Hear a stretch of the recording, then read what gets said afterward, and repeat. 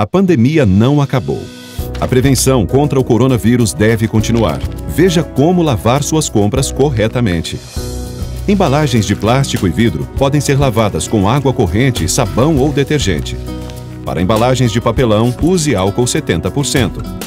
E para lavar frutas e verduras, use uma solução com água sanitária. Não é hora de relaxar. Previna-se e proteja sua família. Prefeitura de Fortaleza.